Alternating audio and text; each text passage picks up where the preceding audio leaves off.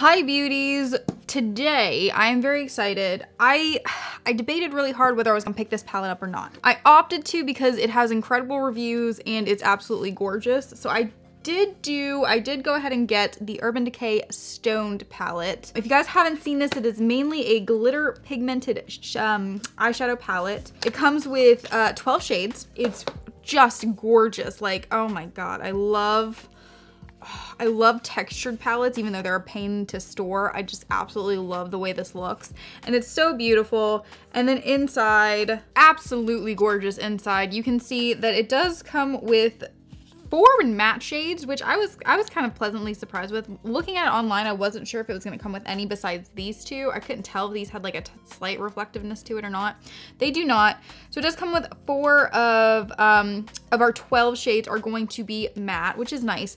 But just to be safe, I did go ahead and I grabbed the uh, Colored Raine little mini palette, which I think I got in an Ipsy a couple months ago, an Ipsy Plus, I think. Um, but it's got some really nice, pretty neutral matte shades that I thought we might be able to use if I needed them. And the whole thing with this palette is, I believe, let me double check. Yes, it was made with genuine tourmaline to block bad vibes and take your look higher. So it is supposed to have like actual gemstone aspects, elements in it. I like that. I'm a big fan of that. My mom really loves natural gemstones, so she, I, I can't believe that well, I can't believe she hasn't picked it up. She's not a huge glitter person, so that's probably why. But I, I just, it's kind of like right up her, her alley. But yeah, I had to, I had to go for it. I did, we did a haul video about this, and in that I talked about, I did actually use points for this, so I, uh, I only paid 54 cents for that entire haul. This is a $54 palette though, so that's kind of why I was like, I don't know, we're trying so hard not to spend money right now because of the house, and we gotta buy all that furniture and all that craziness, but whatever. I will say in the same haul, uh, because of 21 Days of Beauty, I picked up five of these Boing Benefit uh, Cakeless Concealers in the shade number three. I had thought that I had used this particular concealer in the past. It was actually in the same collection, but it was a different one. It was a pot concealer, and I, I don't know, like one of the little pans. I don't know why I was thinking that this was the one I used, but I had not used it. So I used it today just to see. It's better than Shape Tape. I, I don't, I don't regret, I'm not taking that back. I stand by that. This is like the best concealer I've ever used. It blended out so nicely. It was such a good color match for me. I, I love everything about it. I bought five of them so I could get a free gift because they were on sale for $11. I had to spend $45. So of course buying four meant it was gonna be 44. So I bought five. If I had realized how great this concealer was, I probably would have gone back and bought another five before the sale was over. Um, that is, it's not a lie. I have a problem. You guys know I buy in bulk with these things that I love when they're on sale absolutely the best thing that I got from the 21 days sale. I, I'm in love with it. Highly recommend. Uh, and it looks like a pencil. It looks like a little eraser. Precious. I did want to say that before this video because I won't, I probably won't talk about it on camera just because like doing concealer for you guys is kind of like, okay. And then I'm also going to, just to throw this out there, I haven't used these Manna Kadar, uh, Kadar uh, Beauty brushes that I got in my Glow Addict a couple months ago yet, but I'm completely out of clean brushes and I'm not washing them, so I just keep pulling out ones that I haven't opened yet and handling it that way because that's the whole vibe of 2020. All right, let's jump into this. Today, to get us in the Halloween spirit, what am I gonna talk about? I'm going to talk about some of my favorite horror movies. I was trying to think about something to talk about, and at first I was thinking like, oh, let's talk about like my favorite TV shows, which I probably will still do because there's, I mean, there's a lot I can talk about with that too because I really am more of a TV person um, than a movie person. I just like when I'm looking for something to watch, I always, Nikki knows that he wants to watch movies and I'm always like, let's start a show or let's watch a show. Or he's kind of like, okay. And I always win because I'm in control. So, so yes, horror movies. There's a lot that I like. There's a lot. And now don't get me wrong. Every horror movie is not great. Like there's all, all horror movies all have like weird things and crazy things that happen that are unbelievable in all of them. But there are some that I love despite their flaws. Really quickly before we jump into the prime. What I'm thinking, I'm thinking we're gonna do this as the base. We're gonna do this as the blending. We're gonna do this as the brow blending. And then I'm gonna do a cut crease. And because I'm wearing a green shirt today, I think I'm actually gonna go in with Jade. I think I might do a touch of Tiger's Eye, just the gold, just to make it kind of like, I don't, I don't know, just cause I want to, I don't know. And if I don't do that, I may actually use Opal Aura because it's kind of like the whitest shade. It's got like a touch of blue in there, so I, I, I feel like it may not work well with that, but I don't Or it might look great. Who knows? I don't know. We're going with Hexed, which is... It's that one, Hexed. Yeah, I can read. Yeah. Okay, so if I had to pick my favorite horror movie of all time, horror movie franchise, horror movie franchise. There's a couple I really like. I have to say it's probably the Halloween franchise. I know it's not good. It's not good. Nobody's gonna say it's good. There's so much like cheesy stuff that happens, so much unbelievable stuff that happens. The first movie only like three people are actually killed, so it's actually kind of just slow. But I I just love Michael Myers. I love the whole I love his whole vibe. I don't know why. I'm I'm so about it. I also am aware that the franchise just completely neglects storylines all the time. like they'll make a movie and they're like this happens and then they'll make another movie and like completely negate everything that happened in the movie lead like leading up to it. Also, we'll talk about the third movie, which had nothing to do with Michael Myers. That is the only one that is not included in this discussion. I hate that movie. I watched it and I remember watching it for the first time. And if you guys haven't seen the third, don't. It's a waste of time. Don't watch it. But I remember watching it for the first time. I think I was like 13 or 14, which is when I started getting into horror. My mom tried really hard to keep me out of it, but I was always like, I want to watch scary stuff. And so I'd be like, can we watch this? Can we watch this? And I remember like when I was, I think 11 or 12, my parents like, this is how long ago it was my parents took us to Blockbuster when Blockbuster still existed, and they let us pick out uh, two horror movies. We got Nightmare on Elm Street. Oh, we got three horror movies because we got two Nightmare on Elm Streets and then we got a Friday the 13th. And we got like Friday the 13th 8, which is Jason in Manhattan, which is, it's awful, but it's so entertaining. Bradley, who is my little brother, he, if I was like 11 or 12, he was like eight or nine. And the whole thing was my dad had to watch them with us. And my dad doesn't like horror, but he was like, I'll watch it with you. And then if like really feel like really bad stuff is happening or coming on, then I'll turn it off or I'll make you close your eyes or whatever. I don't know why that logic was the logic for him, but I guess it was, I guess it was like, like he was like a support system. It was, it was nice. It was a good intention. So that was the first time we watched horror movies. And let me tell you, Nightmare on Elm Street is trash. I enjoy them for the like sheer the fact that they're so cringeworthy and so easy to make fun of. But like at the time that that messed me up. The concept of it is terrifying. It's not well executed, which is why I think people can handle it, but it's like the concept of somebody killing you in your dreams really messed with me like a lot that's just a little bit of backstory about my me getting into and the age I kind of was when I started watching horror movies. So during Halloween, of course, AMC is really good about playing horror movies nonstop. And that was how I first saw Halloween. And I'm not gonna lie, the first time I watched Halloween, I was kind of like underwhelmed because it just there isn't like that gore. Like everybody's talked about, oh, Halloween is this big horror movie. And and I remember my mom, that was one of those when I was really little, we had turned on AMC on Halloween, and that was eh, the the third no, the fourth one. The fourth one was playing with Jamie. And the, the fourth and the fifth actually are some of my favorites with Jamie because I felt like as a child actor, she just was so, she was so good in that. So I really enjoy watching those two. Pretty much if, if I see them on TV, I'm gonna stop and watch them. That's kind of how I feel about it. It was at the end. And if, if you don't, spoiler alert before, if you, if you haven't seen them and you don't want to be spoiled, like, uh -huh. So the whole thing with, you know, the fourth and the fifth is she's Jamie Lee Curtis's daughter. Jamie Lee Curtis has died and she's an orphan and she's adopt- been adopted by a new family. But Michael Myers is supposed to be her uncle, so she has a connection to him and like a weird connection, like a kind of like a supernatural, like a psychic connection type thing. So at the end of the movie, she winds up stabbing her stepmom or her stepmom, her adopted mom, because he's overtaken her body momentarily. Well, that was the part that it was turned on, and I was like really little. I was like six or seven. My mom was like, "We gotta turn it off. This is so scary." So that's what I went into the original Halloween expecting, and it just wasn't that. I mean, like it really is a lot of build up, and then only a couple people die. But the entire franchise, I really enjoy everything about it. Even the inconsistencies with the storylines and the things that they do that like like Jamie Lee Curtis is dead in the fourth and the fifth and then she comes back for like Resurrection and H20 and the one that they made in 2019, which I actually loved, the one that they made in 2019. I know it did not, it was completely negated every movie that happened after the first and it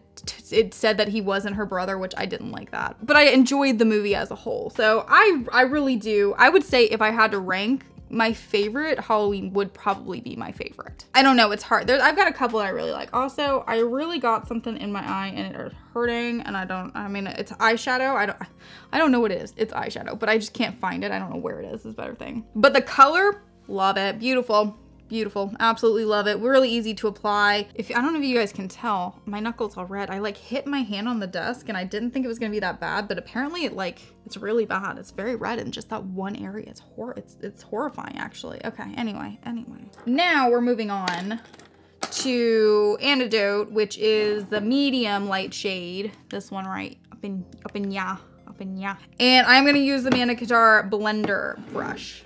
We're gonna see how these work they feel nice. I mean, they feel like they're not super heavy, but the br the bristles feel really pretty, so we'll see.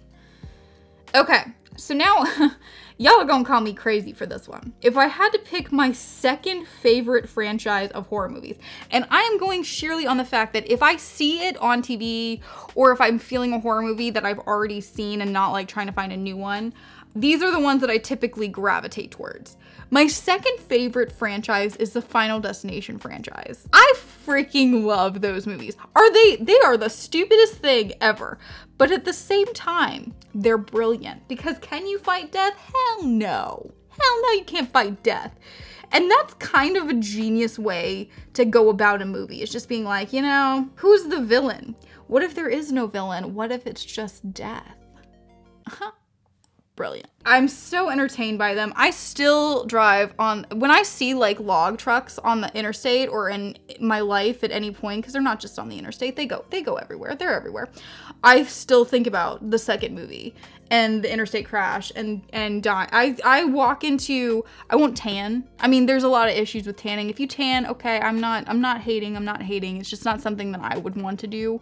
I'm fine being pale. I'm not gonna go lay in a tanning bed and cook myself for 15 minutes. I'm just not gonna do it. But after seeing the third final destination, there was not a chance in hell I was ever getting in a tanning bed because that shit was terrifying. Do I think it's plausible that that would ever happen? Absolutely not. Because the amount of lead up that had to, to the amount of freak accidents that had to lead up to that moment where they cooked to death in the training salon was a lot. But man, was it enough to be like, nah, nah, not worth it. Nah, mm-mm. I'll be pale. It's fine. I'll look like a ghost. It's fine. I feel like Ali Larter's career was just not as much as it should have been because I freaking loved her. She was on, she was in, what was it, House on Haunted Hill? I love that movie. I loved her in that movie. And then she's in the original two Final Destinations. And let me tell you, she, I love her. So I, I really enjoyed the Final Destinations quite a bit. The only one I wasn't like, and I don't hate it, I just didn't like the very last one they did. What was it? The Final Destination or whatever. It was okay. The one was like a bus crash or something like that. Kind of, it was kind of reminiscent of the the highway crash. Also kind of reminiscent of the third with the roller coaster. The third is my favorite. The third is actually the first one that I saw. That is the one that where the tanning bed, bed death takes place. That is my favorite. But I like the first two. I liked I like the fourth. The fourth was the racetrack, right? I don't know why. I always think that the fifth is the racetrack, but the fifth is the final destination. I just, in fact, I'm, I'm thinking last September, maybe it was, maybe last September, I like sat and I just binge watched all of them in a day. And it was a satisfying day. I was like, I started with the third and then I went on to the fourth I don't think I watched the Final Destination because I watched them on Hulu and I don't think that it was on Hulu. But I watched the third and then the fourth and then I actually went back and watched the first two because I always, for whatever reason, think, even though I love Ali Larter, I think that I don't love the first two, but I do. I really do. All right, let's check in on the makeup. So I'm actually I, did, I have used just a touch of the Colored Raine palettes. I've used pretty much just these two to kind of darken up the blending shade a little bit because I feel like there's a little bit of a really big gap between the darkness of Hexed and um, the lightness of Antidote. I was hoping Antidote would be just a little more peachy and it's a little more neutral than I expected. So I added the two um, middle brown and light shades to, to, um, to darken it a little bit. But I'm really actually impressed with how much the matte shades in this palette have to offer because really when you look at it, you think that it's going to be just a glitter shade, which Urban Decay has done that in the, in, or a, a a glitter shade, a glitter palette, um, which Urban Decay has done in the past. And some of my favorite glitter palettes are from Urban Decay. The Moondust palette is hands down one of my favorite glitter pigment. To, like when I'm looking for a glitter pigment, if I'm looking for a specific palette, I typically go for that. But yeah, I'm really impressed so far. We're gonna go in, I'm gonna use my normal blending brush. I'm gonna go in with Good Karma, which is the white shade. I'm just gonna clean it up a little bit and then we'll go ahead and do the cut crease and we'll start with Jade and see how Jade works.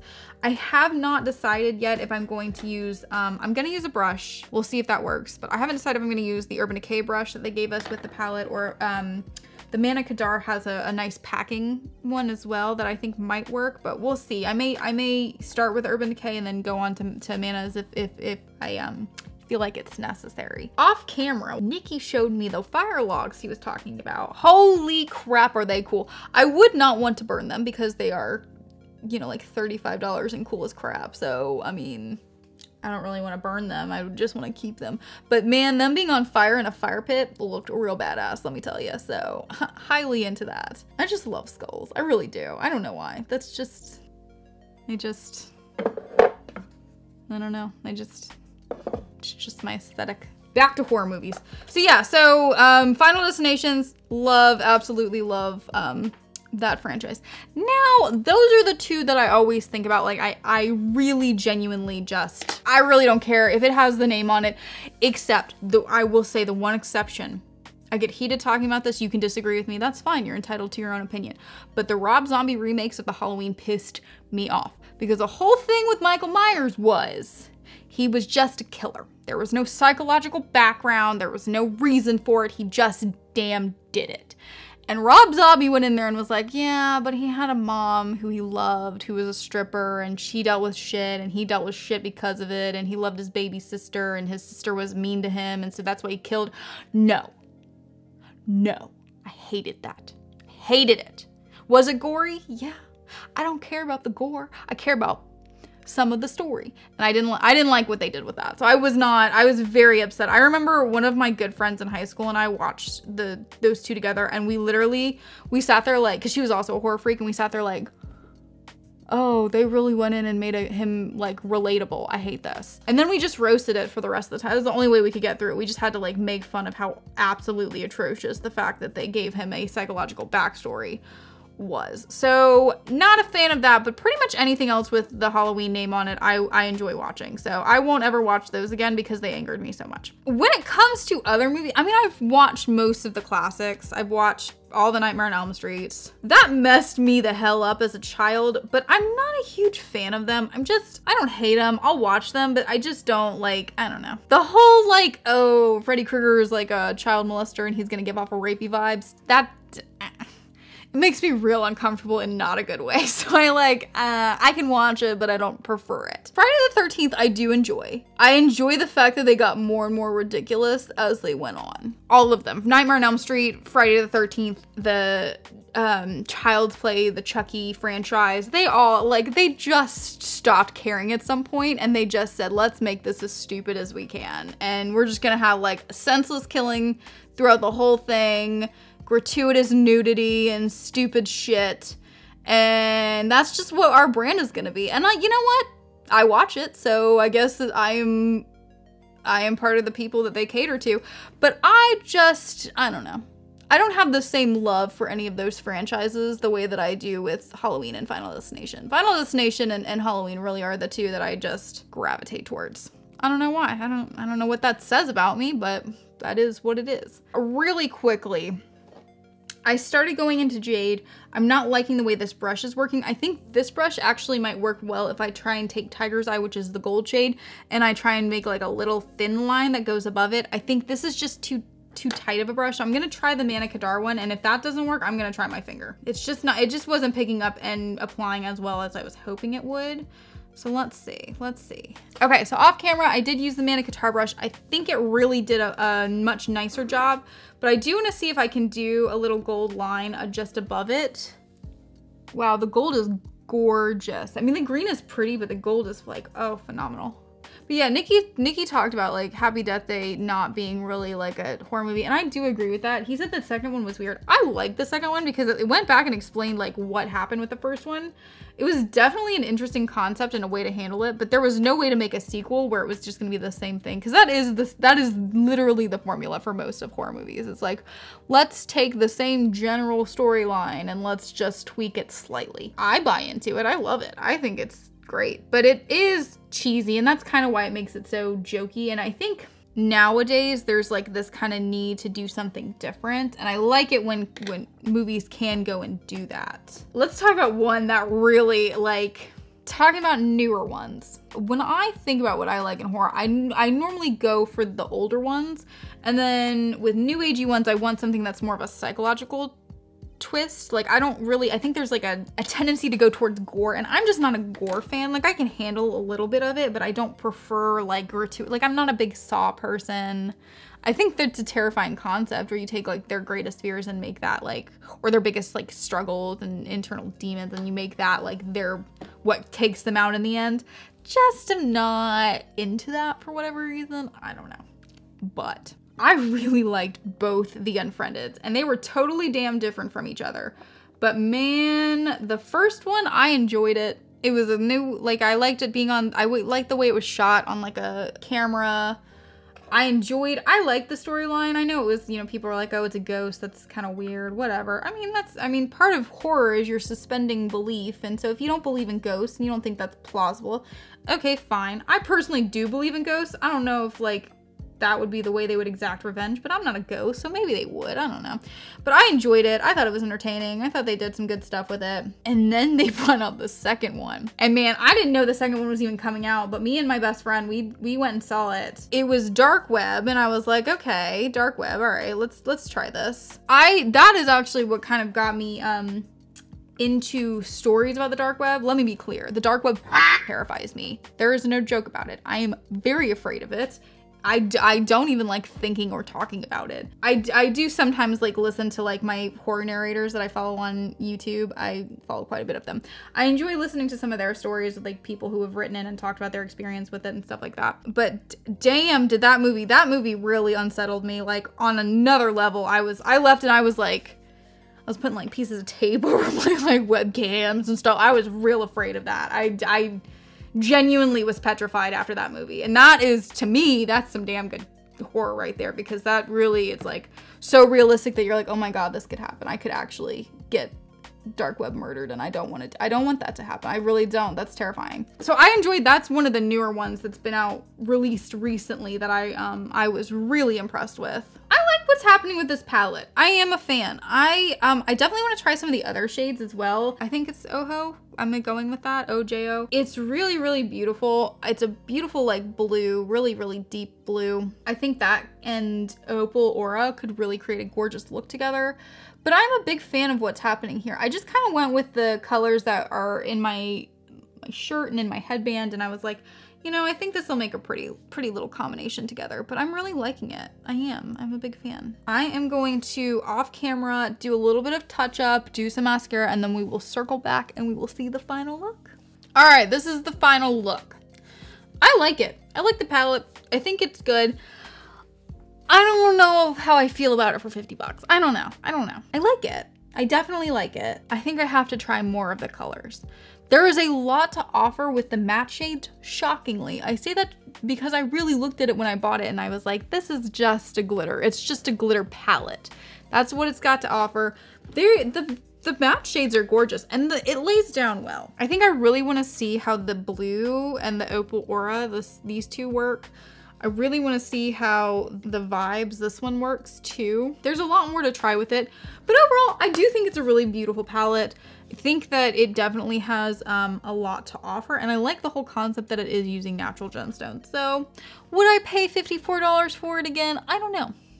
But do I like the palette? Yes. Does that make sense? maybe, maybe not. I don't know. I hope you guys enjoyed the video. I hope you guys enjoyed listening to me talk about um, some horror movies that I enjoy watching. Even with Halloween coming up and everything, I was like, what should we talk about today? Let's talk about that because I definitely would call myself like a horror lover. I know we talked about a lot of basic stuff and there's a lot of people out there who like have seen everything horror out there and so uh, it probably is very basic considering, but I just wanted to kind of talk about some of the ones that I enjoy watching regularly. So yeah, if you enjoyed the video, give it a thumbs up. If you enjoyed us, then subscribe because we would like you to be part of our Dark Angel family. Join us. I hope you guys are all safe and healthy. You have a wonderful day and you stay girly with a dark twist.